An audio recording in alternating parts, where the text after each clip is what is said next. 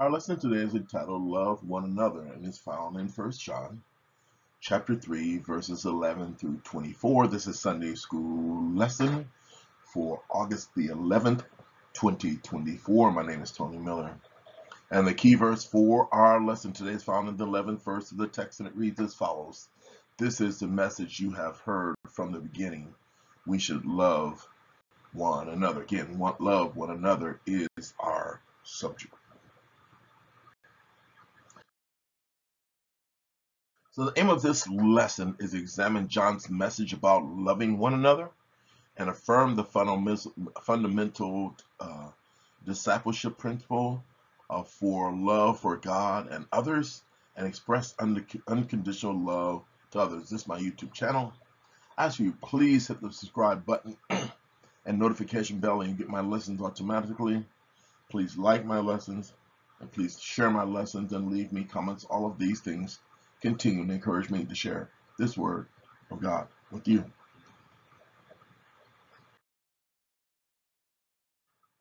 Oh, let us pray. Heavenly Father, we're grateful that you cause your people to assemble themselves again to hear a word from you, and we are just grateful. We're grateful for this love that we have now going to get a better understanding about your love and how we should approach each other.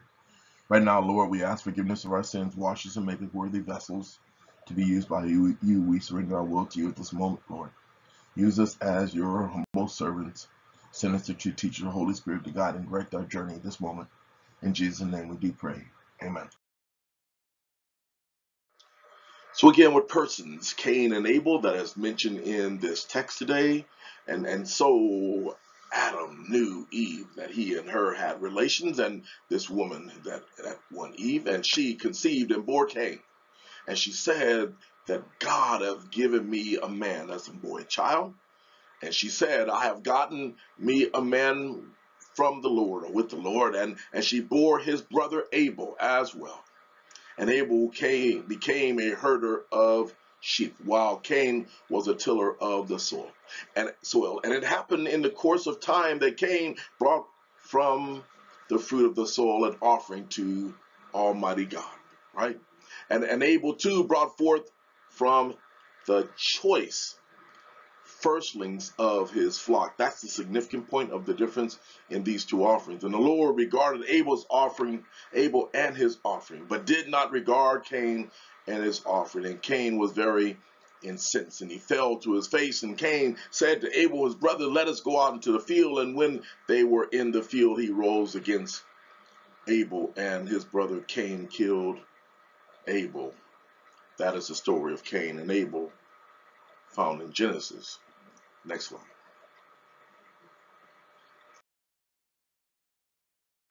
So this letter that John writes to this this church, these churches, and he and he writes this letter, and it was written to the members of the churches of Asia Minor, and especially in Ephesus. That's where he was positioned. And this epistle serve as a reminder to the children of God to love one another. That was a commandment that Jesus left with these disciples at that Last Supper. And, and the Apostle John was prepared to show the churches how to put the love of God into action. The commandment to love is an expression of how Christ's disciples should act. This love has been spread and spread, shared above by the Holy Spirit into their hearts. And without showing love towards others, it is doubtful that no one can really say if he or she really has this love that John speaks of. Next line.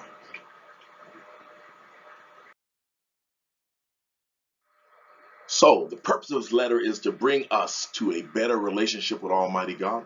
That John begins in the center of the with the center of this relationship, which is Jesus, and and, and it's an invitation to relationship to do that which we have seen and what we've heard along our journey in this life and what we've learned from scripture as well. The result of, of, of this relationship is that these things that he writes about is that we should, if we do them, we'll get this joy. And he says that this, the sin nature, the sin and the nature of God, that God is a light and in him there's no darkness, but we're the ones who are dark because we are the ones with the sin. And, and God's sinlessness and our relationship with Him. And if we say that we have fellowship with God and we walk in darkness and we lie because we're not in fellow true fellowship with Him, then we practice the truth. We're lying.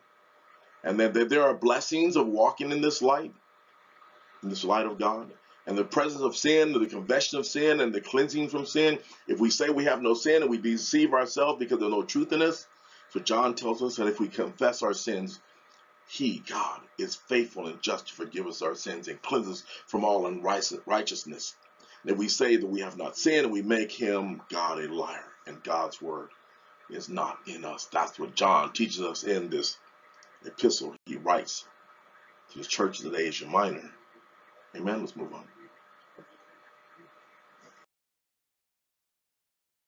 So these disciples that uh, that, that, followed Jesus, this is a um, um, a chart that shows the uh, how each of them died. That they were all the apostles. That they they they they all had a life and they went forth preaching the gospel. So in the timeline of the events that happened, Peter died. He was crucified. And, and it's significant that Peter was crucified. He was crucified upside down. He said, No, you cannot crucify me the same way that Jesus was crucified. And Andrew was scourged, and, and James was beheaded, and John, I'll get to John in a second, and, and Philip was crucified, and Bartholomew, he was beaten and flayed and crucified up uh, uh, head side down. And Thomas uh, was lanced, and, and Matthew was axed to death, and James was thrown down uh, from the temple three floors down. He did not die, and they wanted to throw him down again, but they decided to just club him to death. Um, and Thaddeus was crucified, and Simon was crucified, and, and Judas Iscariot, we know what happened to him. He, he betrayed Jesus and he was hung, and, and Matthias was stoned, and Paul was beheaded. And all these things happened long before this ending of this period of time that we're talking about today, that John is the one, he was in Ephesus now, that he would not die and he would still be alive here at this timetable of this writing of this letter. And we'll get more into that and magnify that along these next few slides. Amen. Let's move on. So if you see that these disciples, they were not ashamed of the gospel they, they, they preached the gospel with fervor and they took it and they all lived a martyr's death. They all died in different places. They all proclaimed the, the gospel. They, they saw what they saw. They heard what they heard and, and Jesus told them what to do and they went to the uttermost parts to preach the gospel, the command that Jesus gave them for they are not, they were not ashamed of the gospel of Jesus Christ for it's the power of God unto salvation to everyone that believes it. I am not ashamed. Amen. Let's move on.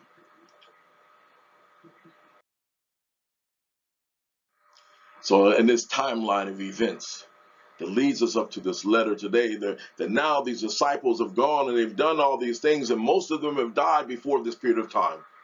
That, that, that, that temple that, that is that we know that the centerpiece of Jewish life will ultimately be destroyed in 70 AD. And by this time, all most of all of those, but a, but maybe two of those disciples were still alive. And, and Jesus had predicted that that temple would fall. Just as Christianity is growing, they're preaching the gospel to the othermost parts of the world. Amen. Let's move on.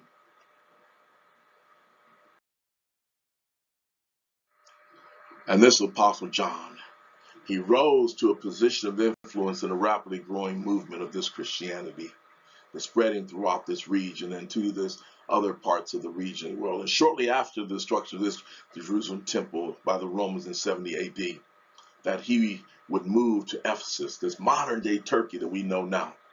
And John became the pastor of the church at Ephesus, and he had a special relationship with uh, that church in Ephesus and other churches in the area.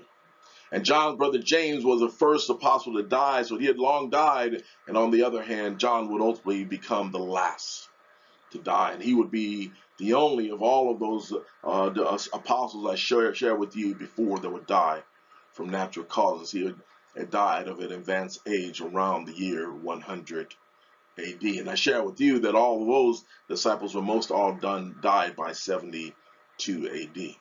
And while in Ephesus, ordered by the Roman Emperor Domin, uh, Domitian, that he ex exiled John to an island called Patmos. And if you know the story, and they tried to kill him three times. John would not stop proclaiming the gospel, just like the other guys. He was not ashamed of the gospel.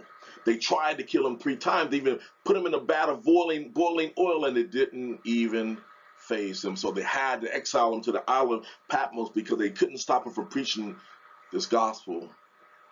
And it was this cave and this apocalypse that he was was cast in, and there he wrote uh, these letters and also wrote the the book of Revelation. This book of Revelation was given to the Apostle John, where John recorded what God, what Jesus told him to do in this book.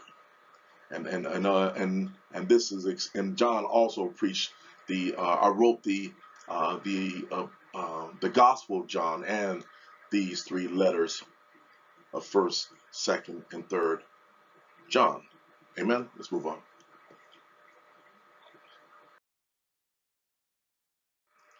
So I shared with you a second ago that he was in Ephesus, where it's this Asia Minor region. And then, then this island of Patmos is in that region between Greece and, and, and Ephesus where he would be exiled. Amen. Let's move on.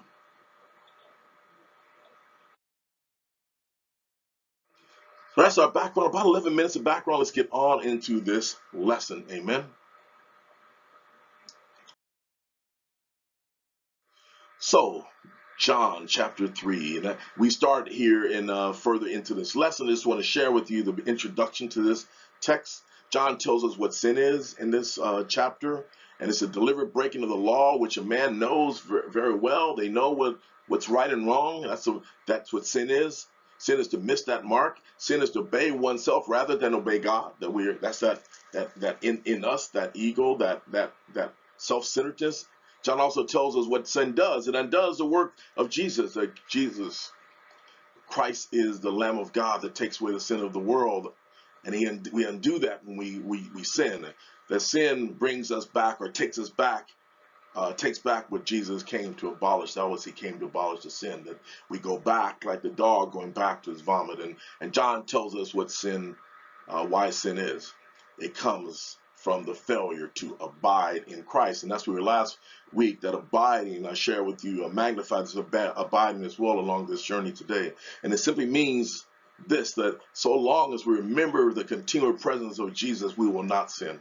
But when we forget this presence, we stop being connected to him, to this word, to our the people within our, our circle that we sin. And that's what happened even with that one king that he became separated as well.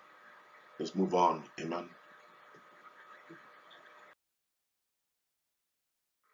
So again, to continue this introduction, John tells us where sin comes from. It comes from the devil, and the devil is he who sins. And and if we were, and he does it like it's a principle or practice what he does. And we, again, he was uh, contrary to God, and he he had this thing that he wanted to be above God. So all that he does is contrary to God. And if we we sin for pleasure. That pleasure we think that feels, and makes us feel this pre- that that we think or we feel will bring us this pleasure.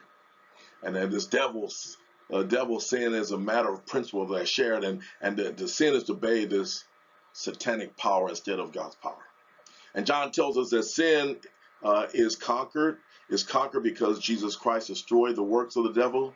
Jesus has broken the power of evil uh, by his help, or Jesus has broken the power of evil, and by his help, that same victory can be ours.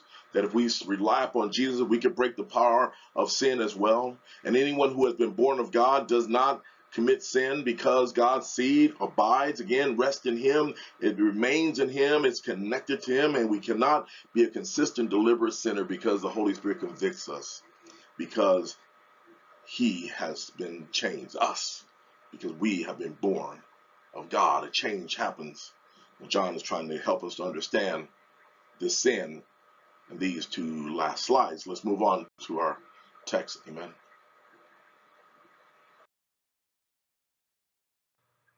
So the lesson that I'm sharing with you today is a lesson that I did about three years ago. And at that time, it, the name of the lesson was called Confident Love. And, and, and it's the same exact text, the same exact essence, and uh, and you know what I do is much different than maybe a lot of the teachers here on YouTube.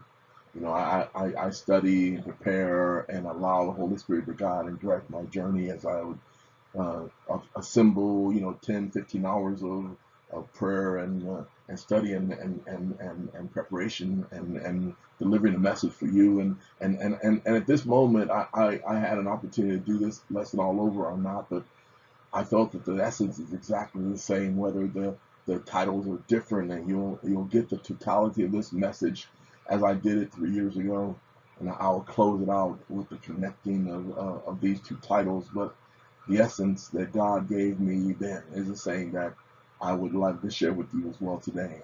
And I hope you get the essence as I'll, you know, you'll see the title of loving one another and confident love throughout the lesson, but in essence, the same message that this uh, uh, uh, old apostle has uh, to share with us today.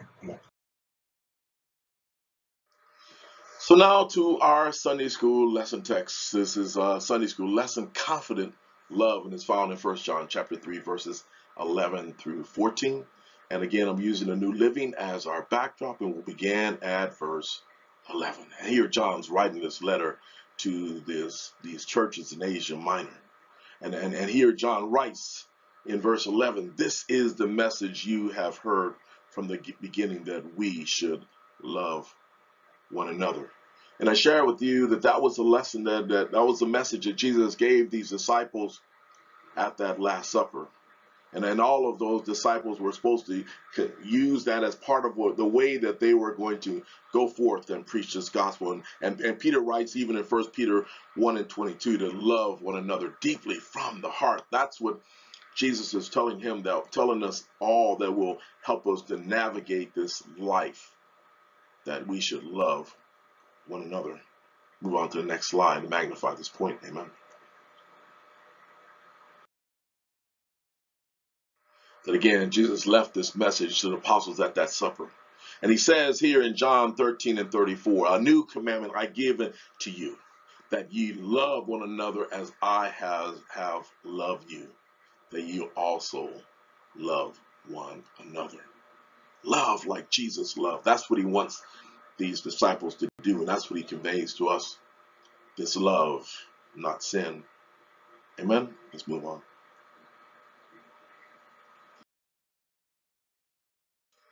The Sunday school lesson is confident love. And John, again, is writing to these these these churches in Asia Minor and to and to this church in Ephesus. And and, and here he writes in, in verse 12 that we must not be like Cain. And I share you the story about Cain, who belonged to the devil, Satan, and he killed his brother. And why did he kill him? Because Cain had uh, been doing what was evil, that Cain was entertaining this evil, and his brother had been doing what was righteous, and he uh, was not really happy with what was going on. He had these feelings, and I'll multiply those and I'll magnify those in the next cell. But there's this this fight of, of this right and wrong, this yin and yang that we're always torn with of doing what was right and doing what is wrong and and we and we as as human beings in this world we wrestle not against flesh and blood, but against principalities and powers and rulers of this dark age, that they're all trying to tear us to go in the opposite direction that God wants us to go. And that's the problem that Cain had with Abel. Let's move on.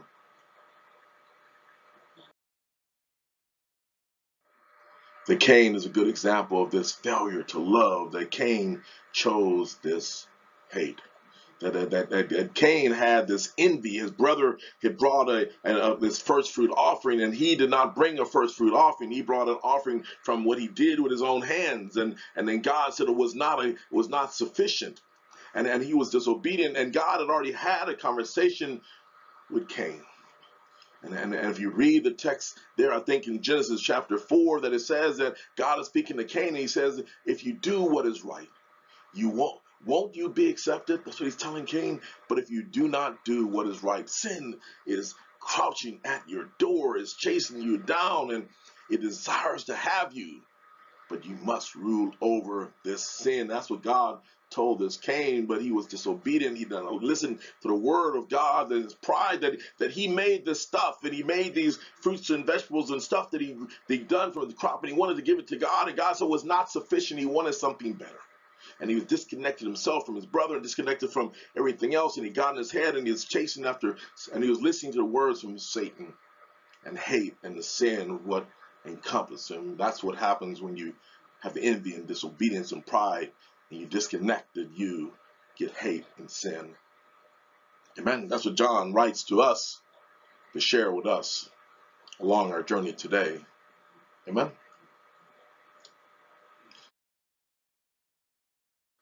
So this confidence, love, John again writing in chapter 3, verse 13. And so don't be surprised, dear brothers and sisters, if this world hates you. Surprise, you're a Christian, people hate you. people know that. They're always making jokes and everything about us. Amen. Don't be surprised what John tells us Christians to know. It's magnified next slide. So even Jesus, the religious leaders, they hated Jesus, right? Because the people favored him over those religious leaders. They thought they were all that in a bag of chips, and they thought they were the ones who everybody knew who they were. And Jesus came, and and and and, and they and and they all the crowds were following him, and they were too envious. And he and he told them the truth that you guys are vipers, you guys are are making my father's house a den of thieves, and you guys are are are are, are just not following the word of God. You're making up stuff on yourself. And they hated Jesus because he told them the truth. So be prepared for hate. They even hated Jesus. That's what John tells us. Amen.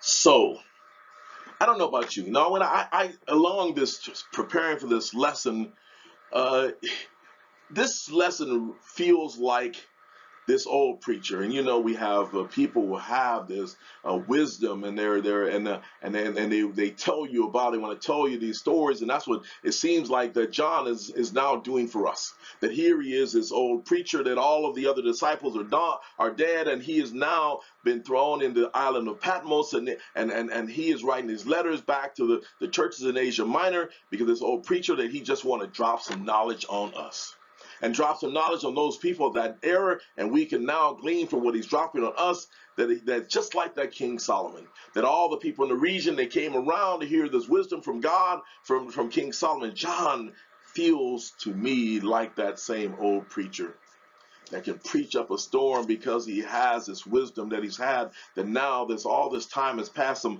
50 almost 60 years have passed and john has seen a lot and now he's writing these letters to these these these churches and, and and he's writing the Gospel of John and he will ultimately write uh, he will ultimately scribe the, the, the, the book of Revelation as well.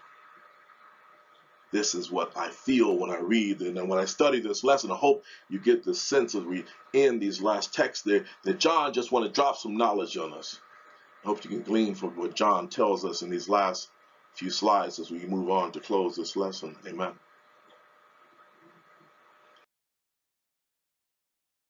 So this confident love in verse 14 that, that that's this wisdom that John has given us. That love is the evidence of this new birth that we have. And he says, if we love our brothers and our sisters who are believers, it proves that we have passed from death into life, right? If you love your brothers, then you guys have connection with each other. And he says that we're connected and we know that. But a person who has no love is still dead, or right? You know, and you can tell sometimes by someone who is a Christian they love you as people that don't just feel like they're not connected. Anyone who hates another brother or, uh, or sister is literally a murderer in, at heart, John writes. And, and you know that murderers don't have eternal life within them. Again, that's this wisdom from John dropping these nuggets. Next slide. And verse 16, again, this confident love that, that John says in verse 16 that we know what love, real love is, right? Because Jesus gave up his life for us. That was the real love. He said that greater, no greater love than this that a man would lay down his life for his friends, and Jesus did that. And so we ought to give up our lives for our brothers and sisters. That's what John says, and that's what true love is. Again, this wisdom from this apostle John, this old preacher. Amen.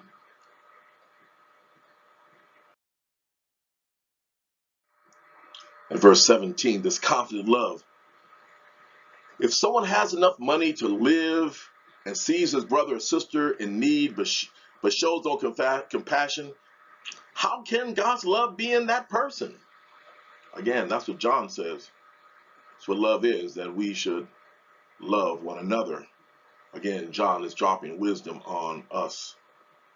We have to have compassion for our brothers if we really have God's love. Next slide.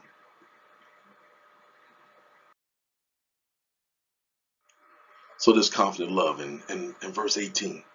He says, Dear children, dear, dear children, let not merely uh, let's not merely say uh, we love each other. You know, people say that all the time. I love you. I love you. I love you. Let us show the truth by our actions.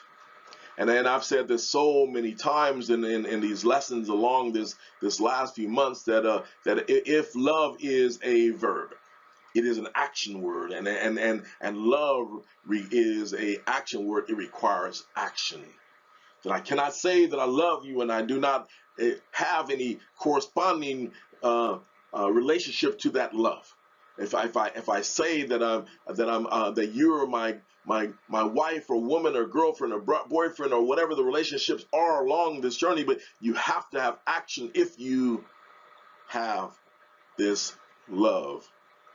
Let us show the truth by our action. That's the confidence that we have in this love. And John again is trying to give us these nuggets from this old preacher. Amen.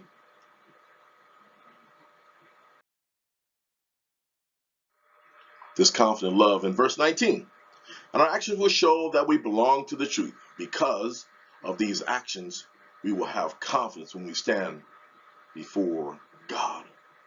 John is telling us that when we stand in this in the, in the, in the, in the end of our days, that if we show this this love, we can be confident in the end of these days.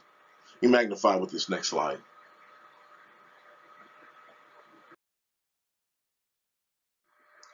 So this is a cell that I've shared so many times that at the end of days that we all flesh will stand before a holy and righteous God. And we will give account for what we've done in these bodies. And we will be judged accordingly in what we have done.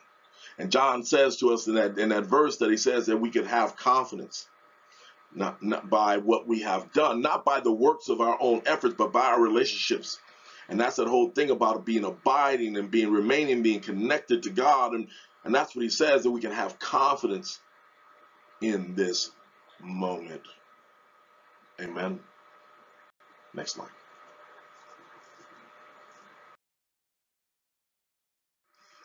This confident love in verse 20. And, and even if we feel guilty, God is greater than our feelings. That God, He knows everything about everything that we're going through. That that John is trying to drop some more uh, um, intellectual knowledge on on us, and he says that that that that we should not feel guilty because our our, our feelings should not define us because God knows everything about us and and when we encounter certain things I share with you in the backdrop of this don't tell God about how uh, don't tell God how big your storms are tell your storms how big your God is that we need to flip that script and now and recognize that God is in control and He knows everything about what we're going through. And and, and John is trying to tell us that that that we should have confidence and love that God loves us. All we have to do is ask and He will provide our needs. Amen. Let's move on.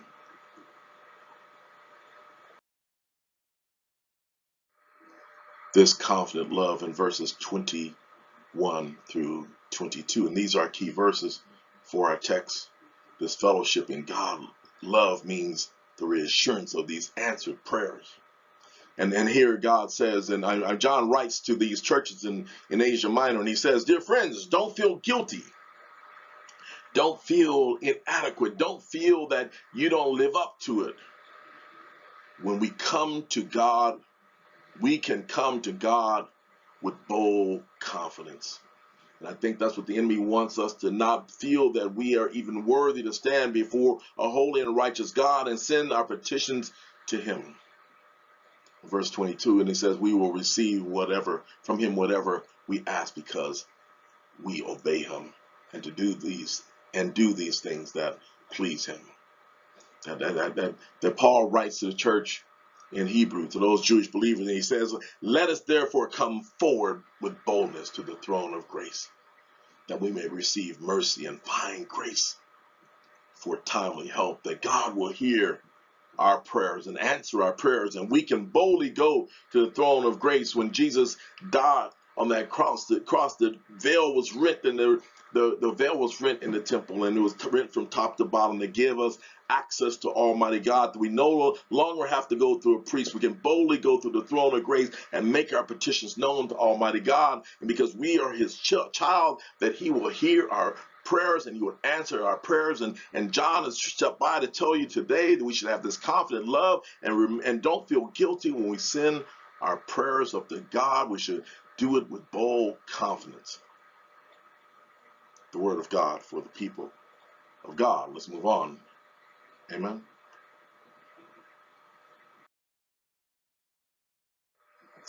This confident love in verse 23.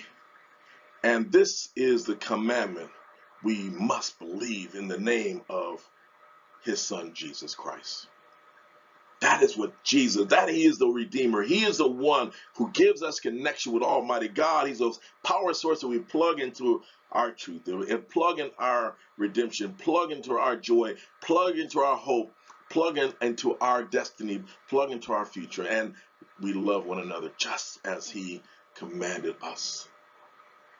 Again, we, how we must believe in this Jesus. And we stay on this earth long enough for that to occur. Amen. Let's move on.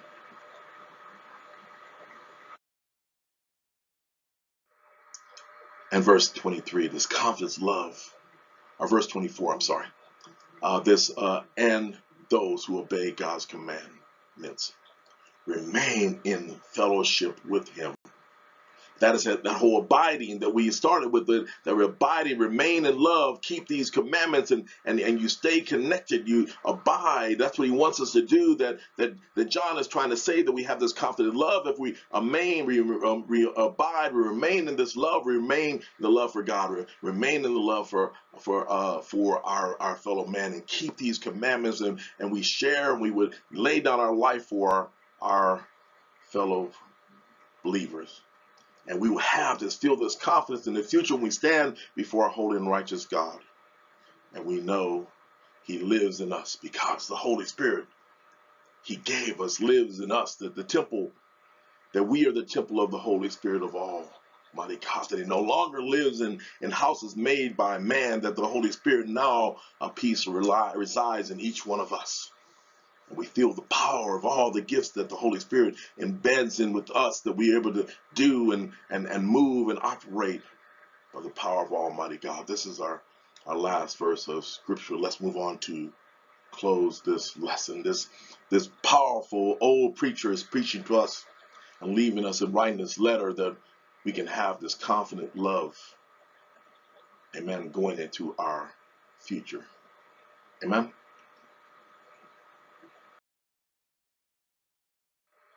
And again, this old preacher, this old man John, that's probably now near in his late 80s or maybe even 90 years old, that he dropped by to tell you. And again, he's given, God has given me this word to share with you as well. That dropping some knowledge on us, that he's dropping some knowledge on us. And I hope you can grab a hold of something that was said today that, that takes you into your end of your days. You can apply it to every day that we need to stay connected to God and love one another. That's what this word is saying. That's what John says. That's what Jesus says. And, and our life has changed because we've had this encounter with this Jesus.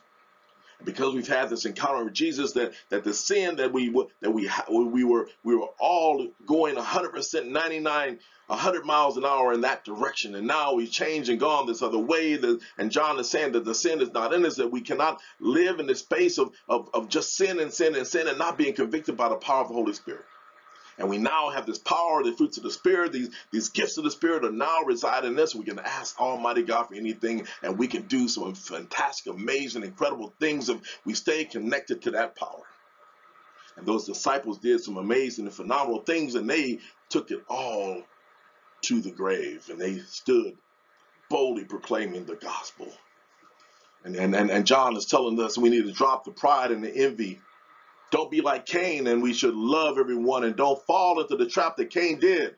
Stay connected to God, stay connected to the church, stay connected to the word, stay connected to our friends and family, and remain in this love, this love that Jesus said that he so he talked at that last supper and keep those commandments that he has to the end of our days.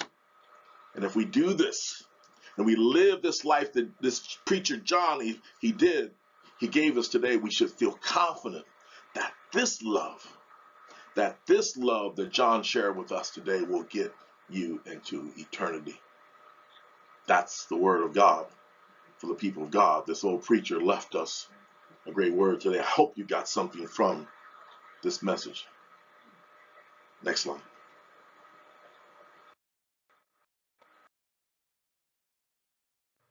And this is our final cell. Again, a lesson, two titles, but the same essence.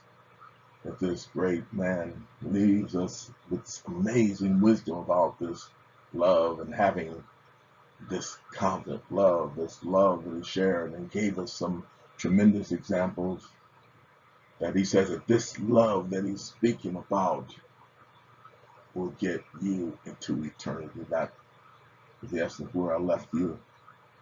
And my prayer that something you gained this week that you learned along our journey, and strengthen your faith. The Lord provides all your needs. You learn something worthy of sharing. So in the matchless name of Jesus, we do pray and ask these things always. In his name, we do pray and, and say and ask. Amen. Thanks so much for your time.